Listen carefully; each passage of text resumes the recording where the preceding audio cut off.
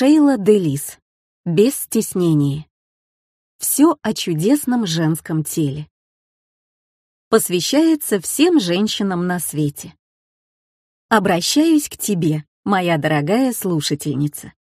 Эта аудиокнига устроена таким образом, что ее можно слушать как подряд, так и выбирая отдельные интересующие тебя разделы.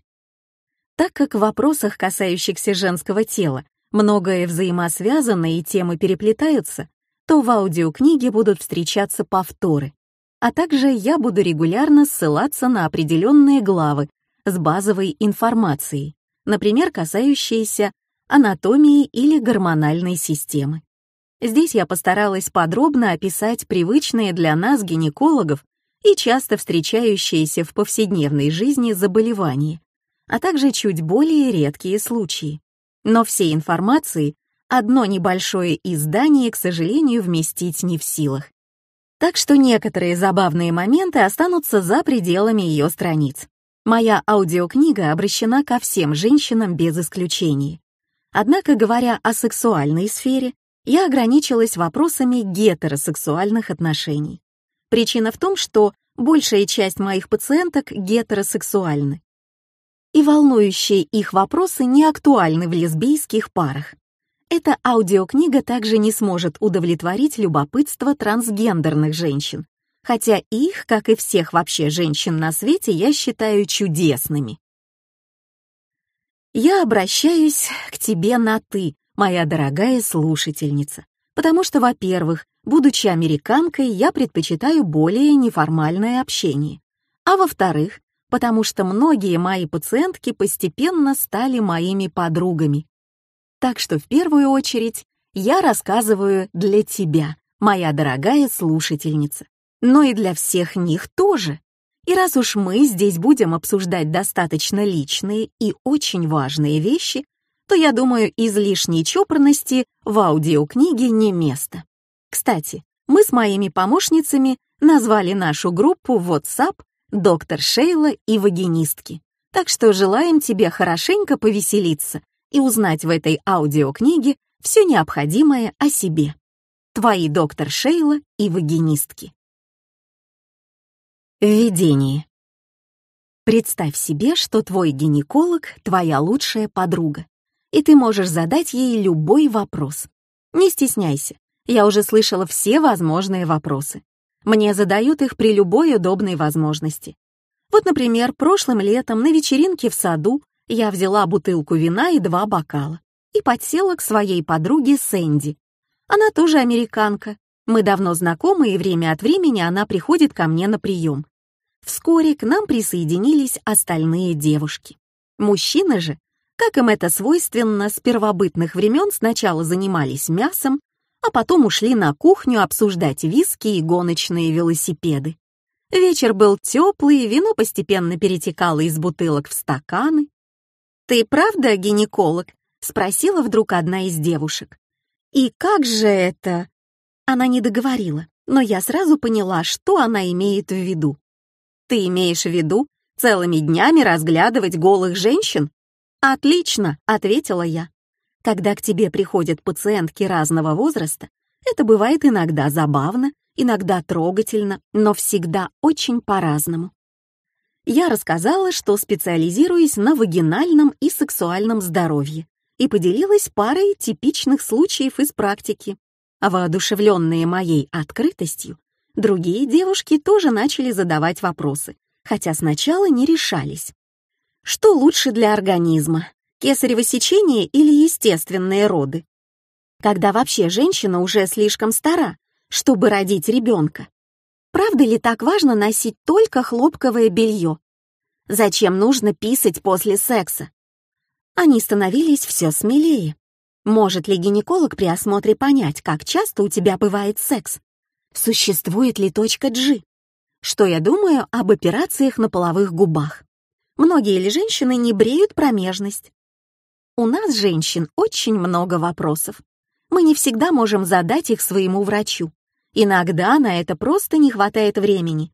Или у вас могут быть недостаточно близкие отношения, чтобы подробно обсуждать пикантные темы. Я прекрасно помню, свой первый визит к гинекологу. Мне было 17 лет. Я еще не очень хорошо говорила по-немецки и понятия не имела о сексуальности. Врач была очень груба, говорила мало, а на два вопроса, которые я все же осмелилась задать, ответила коротко и раздраженно. Она не спросила, был ли у меня уже секс. Я была еще девственницей. Не объяснила назначение прописанных таблеток. Это сделала медсестра. Это были 80-е годы 20 -го века. В то время врачи были традиционно невнимательными и неприветливыми. Решив стать гинекологом, я отлично понимала, что буду работать совсем по-другому. С тех самых пор я считаю своей миссией передавать знания другим женщинам и делать это понятным и доступным языком. И если юмор поможет мне избавить своих пациенток от неуверенности и неловкости в отношении проявлений их собственных тел, тем лучше. Как некогда Джейми Оливер сделал искусство приготовления пищи доступным каждому, так и я вижу свою задачу в том, чтобы помимо работы гинеколога легко и понятно рассказывать женщинам об особенностях строения их тела. Да и кому бы еще этим и заниматься, как не гинекологу? Ведь недопонимания и неловкости в отношении телесности у каждой из нас предостаточно, и насаждаются они в нас с самого раннего возраста. В идеале нужно было бы уже с малого возраста знакомить девочек с их телами, делая это в расслабленной и ненапряженной атмосфере чтобы они могли с любопытством следить за наступающими во время переходного возраста изменениями. И принимать их, не удивляясь тому, что наши гениталии вдруг как бы начинают жить собственной жизнью. Рассматривать вагину как орган, в который кое-что входит и из которого кое-что может выходить, но в целом как нечто прекрасное, ведь она приносит нам удовольствие чтобы мы понимали цикличность смены настроения и состояний нашего тела и были хорошо подготовлены к происходящим изменениям. Однако намного чаще получается так, что женщины занимают отстраненную, неуверенную, неоднозначную позицию по отношению к собственному телу в целом и к гениталиям в частности. И эти ощущения зачастую бывают приправлены чувством стыда и неловкости, Женщины и девочки оказываются один на один со своими проблемами, не решаясь поделиться ими ни с подругами, ни с врачом. Половые органы остаются для них чем-то загадочным и не поддающимся пониманию. И это отношение они транслируют своим дочерям. Постепенно причин непонимания становится все больше. ПМС, менструальное кровотечение, предохранение от нежеланной беременности, и нигде нет четких и понятных ответов на вопросы. Да и откуда бы им взяться? В интернете все перемешалось, реклама призывает. Читайте инструкцию, спросите у врача или провизора. Еще вчера считалось, что гормоны убивают, а сегодня их прием сулит новые возможности. Кому верить? Моя задача — навести порядок в этом вопросе, отделить факты от мнений загрузить в сознание женщин новую программу, чтобы они усвоили важные вещи, которые самым непосредственным образом касаются их жизни. Чтобы научились понимать собственное тело. Да, сфера моей деятельности сложна и многогранна, и опыт врача не заменить ничем, но основы может уяснить каждый. Понимание снимает налет загадочности и прогоняет страх, ведь больше всего мы боимся именно тех вещей, которые не понимаем. Лишь повысив уровень информированности о своем теле, мы сможем унять беспокойство и начать тратить силы на более интересные вещи. Так что женская анатомия ни в коем случае не должна оставаться лишь знанием для посвященных, доступным одним гинекологам. Я утверждаю, что каждый, кто способен несколько серий подряд следить за сериалами Netflix, без труда сможет усвоить основы гинекологической науки. Я собираюсь положить начало этому процессу и провожу вас в чудесный мир женской биологии. Девочкам и женщинам пора не только понять свое тело, но и научиться получать от него удовольствие. Наш организм очень умен. Зачастую он подает своей хозяйке сигналы, подсказывая, чего ему не хватает. И именно у нас, женщин, есть все необходимые инструменты не только для размножения, но и для того, чтобы получать удовольствие от этого процесса. Я, например, совершенно счастлива быть женщиной. Мы умеем дружить, можем позволить себе носить блестящие туфли, рожаем детей и заключаем деловые сделки. Эта аудиокнига посвящена всем женщинам на Земле. Глава первая. Чудесная обитательница твоих трусиков. Анатомия вульвы или хэштег «Это нормально». Добро пожаловать на базовый курс по женской анатомии. В этой главе мы познакомимся с основами строения наших чудесных половых органов. Но для начала я хотела бы развеять три самых ужасных заблуждения, касающиеся женского пола. Во-первых, давайте научимся отличать вагину от вульвы. Все, что расположено снаружи, лобок, большие половые губы, находящиеся под ними малые половые губы и клитор, все это вместе называется вульва. Вагина же или влагалище официально начинается сразу за девственной плевой, о которой мы позже поговорим подробнее, и заканчивается шейкой матки. Таким образом, вагину снаружи не видно, в отличие от мужчин, у которых все половые органы расположены снаружи. У нас есть как аналогичные внешние, так и другие, несущие свою службу в глубине тела. Вульва и вагина не одно и то же. Они располагаются в разных местах, однако вместе составляют отличный дуэт, как Рицоли и Айлс или Бейонсе и Саланж. Во-вторых, у нас в промежности три отверстия, а не два. Если ты вдруг этого не знала, нет причин стыдиться. Ты не одна такая. Мне встречались даже академики, причем некоторые из них были врачами, которым было не очевидно, что писаем мы с помощью мочеиспускательного канала, а не через вагину. В-третьих, и это одно из самых важных сведений во всей моей аудиокниге, практически любой вид внешних половых органов нормален, от скромных ракушек до крупных бабочек. Согласно исследованиям моих американских коллег, лишь 26% всех женщин когда-либо разглядывали собственные половые органы. Ну, мы, конечно, не чопорные американки, но полагаю, что и здесь, в Европе, женские интимные места находятся в не менее тяжелом положении. А ведь это так важно — знать собственную анатомию и любить свою внешность. Установлено, что чем больше женщина принимает собственные гениталии, тем сильнее это влияет на развитие ее сексуальности. У тех, кто хорошо знает свои вульву и вагину, да еще и находит их привлекательными, чаще случается секс, и они регулярнее достигают оргазма. Давай же повнимательнее изучим то, что видно невооруженным взглядом — вульву. Вульвы бывают разного цвета, размера и формы. Природа любит разнообразие. Если хочешь, можешь принести зеркало, пошире раздвинуть ноги и разглядывать себя, пока я кратко представлю тебе основной и вспомогательный состав женских половых органов. Можешь посветить себе с помощью телефона или сделать несколько фотографий.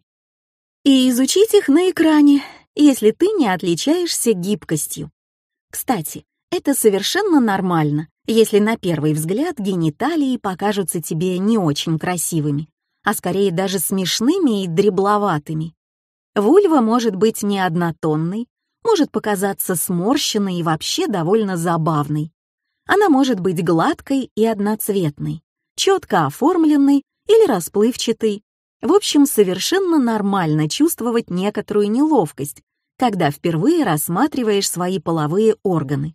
Ну а как же иначе? В конце концов, вульва с половыми губами обычно не попадают в поле нашего зрения, если только ты не выросла в семье хиппи или не привыкла наблюдать за тем, как нудисты играют в шарики. В противном случае ты видела не так уж много голых людей снизу, и уж тем более вряд ли часто рассматривала себя в зеркало. Совет специалиста.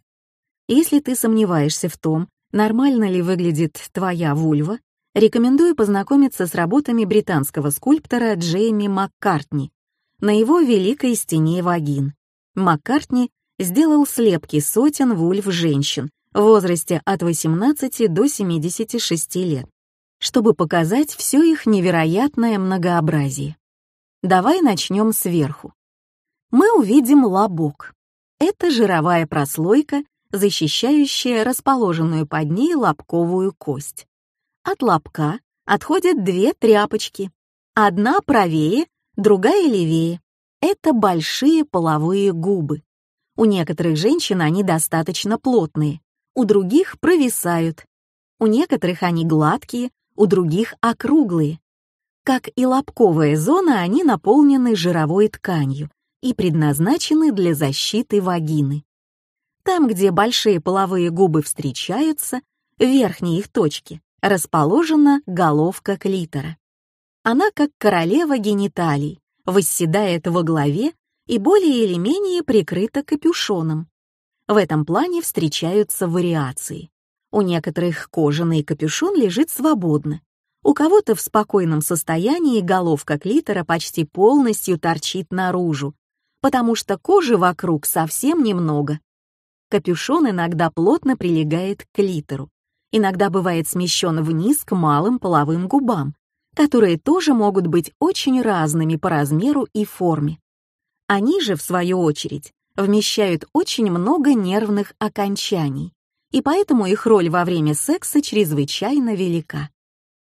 Позже мы вернемся к малым половым губам подробнее. В одном-двух сантиметрах ниже клитора, это расстояние у всех различается, находится маленькое, но очень чувствительное отверстие — мочеиспускательный канал. Отсюда мы писаем. Возле мочеиспускательного канала расположены железы скина или преддверные железы, которые открываются в мочеиспускательный канал их почти не видно. Это аналог мужской простаты, и именно они отвечают за овеянную мифами и легендами женскую эякуляцию. Подробнее в главе 2. Двигаемся еще ниже. Здесь мы видим вход во влагалище, окруженный тонкой кожистой складкой. Это так называемое гиминальное кольцо представляющие собой остатки девственной плевы.